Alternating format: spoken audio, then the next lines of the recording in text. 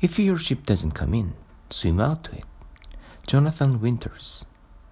You want too many things out of life, and you know you are going to have to work to achieve them.